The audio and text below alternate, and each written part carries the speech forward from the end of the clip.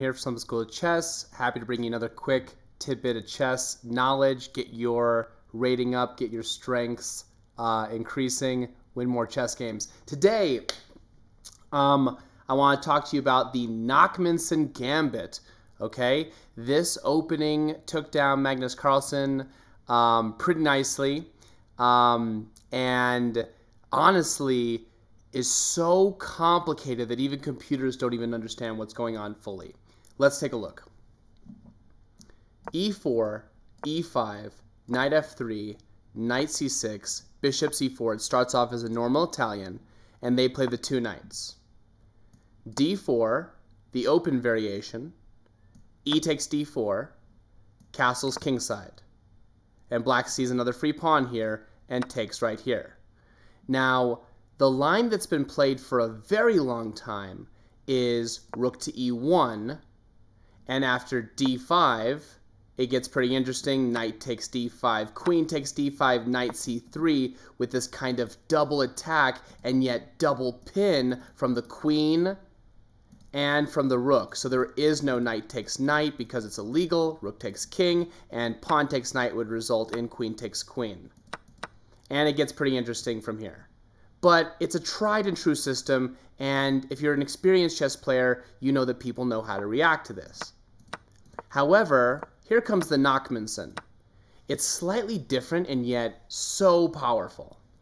Knight to c3, right away. Seems crazy.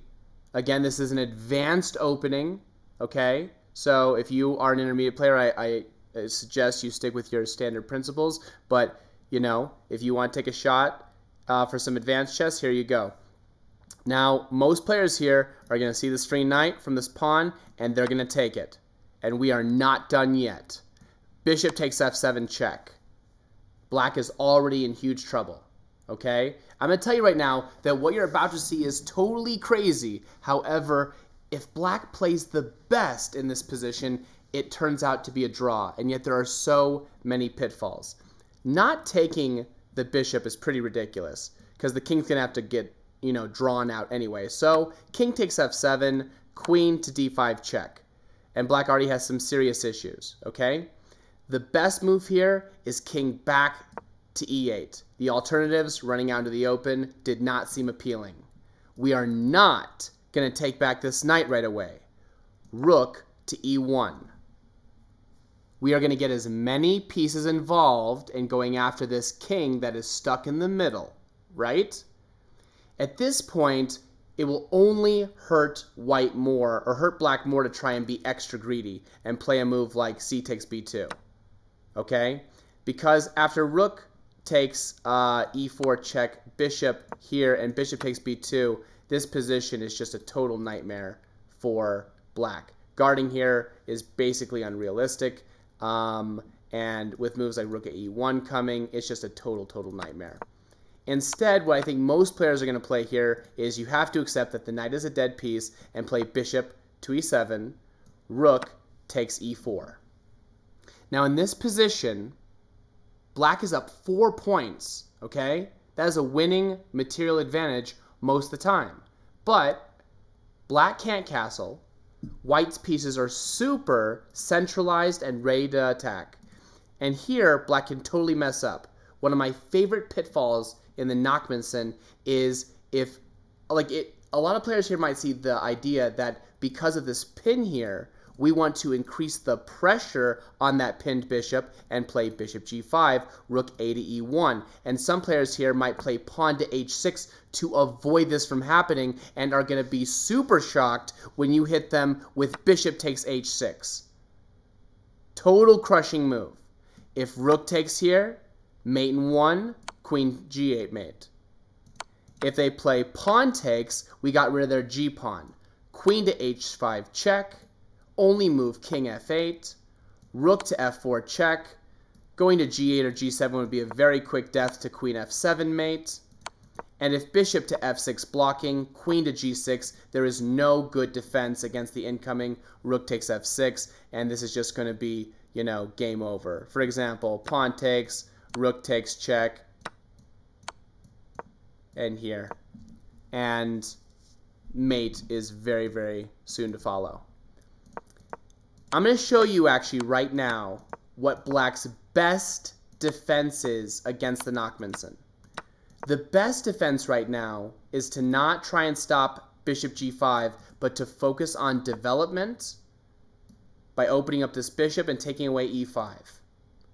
Bishop to g5. Pawn takes b2. I know it seems insane for black to do this move, but having this almost queen at white's uh, doorstep really, really can cause enough complication to uh, stop this maybe. Rook a to e1. And here we've got to be so, so, so, so, so careful. I'll tell you right now that the best defense for black here is actually to play rook f rook f8. The idea is to bring this rook up and give some defense to this bishop, which is getting totally and utterly piled up on, okay? But here is where, at worst, okay, at worst, you all, you can get out with a draw with this amazing little neat sacrifice. Queen takes c6 check, pawn takes c6, check, only move, check, only move, check. And at this point, you have a windmill perpetual. You can play king e8, rook e7 check, king d8, rook g7 check, and you can claim your threefold repetition. So again, I highly encourage you to explore the Nakhmanson Gambit. It was strong enough to take down Magnus Carlsen, um, and so it is definitely strong enough for you to play in both blitz and over-the-board tournament uh, games. Um, however, you know, black, you know, with best black defense, you know, white can still get out with a draw. I will show you one other variation, by the way. If I was going to play against the Nakhmanson and someone played knight c3 against me, I personally would play knight takes knight on c3, eliminating that threat while getting rid of the knight. Pawn takes, pawn to d5, trying to strike the center and get my pieces out as fast as possible.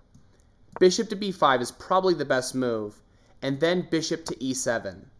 And here, it is still super, super easy to fall apart here, okay? For example, white should take back on d4 with the knight, creating this threat on c6, threatening knight takes c6, pawn takes, bishop takes, threatening here and here.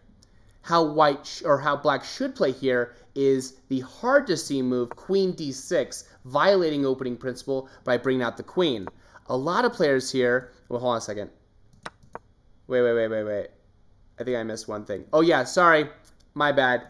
That's if they take here. My bad. Here's the trap. The trap here is if they take here, then rook e1 check, bishop to b7, now knight to d4, and they have to find this move queen d6 because if they play bishop d7, which is so easy to play, in fact, this is almost identical to how Magnus Carlsen lost his game. It's now bishop takes c6, and no matter how they take back, we follow it up with bishop a3, um, and the e7 uh, bishop is falling. Black is going down a piece. This is not identical to how Magnus Carlsen lost, but if you look up uh, if you look up Nakhmanson Gambit Magnus Carlsen, you can see the game for yourself. But anyway, like I said, I want to keep these games or these videos super short for you. Um, try out the Nakhmanson Gambit, win yourself more games, and uh, yeah, let me know what you like about this video, what you hate about this video, and I'll keep trying to put them out for you. Again, I'm Jesse Cohen, uh, Summit School Chess, and I will see you soon. Bye for now.